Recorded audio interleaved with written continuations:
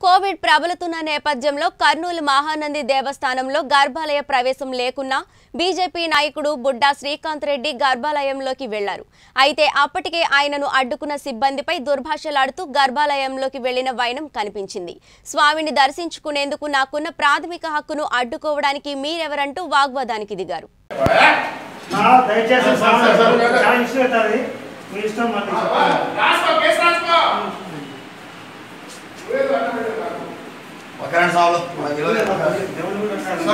సరే మన దేవస్థానం కదా.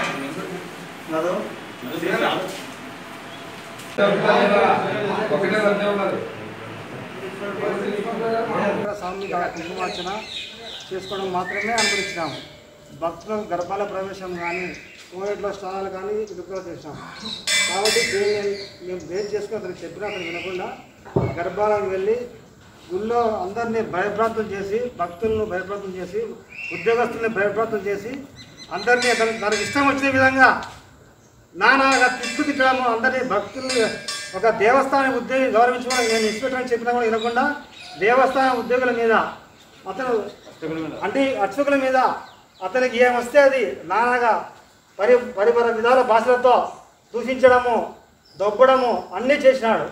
అతను ఒక హిందువు అయి ఉండి మేము హిందువులమే. అతను హిందువే. ఒక హిందువుకు హిందువు చెప్తే అర్థం చేసుకోవాలి.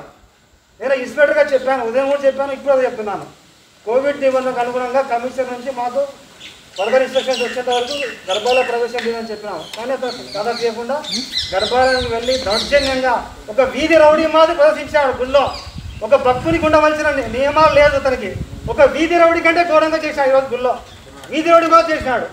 అది మీకు చెప్తున్నాను మీకు విషయం విషయం చెప్తాను. మీరు దీన్ని గమనించి చర్యలు తీసుకోవాలి. కంప్లైంట్ చేస్తున్నాం ఇప్పుడే. ఇస్తే కాదు కంప్లైంట్ చేస్తున్నాం మేము మా దేవస్థాన స్టాఫ్ అర్చకులందరము ఇప్పుడే ఇమ్మీడియట్ కంప్లైంట్ చేస్తున్నాం.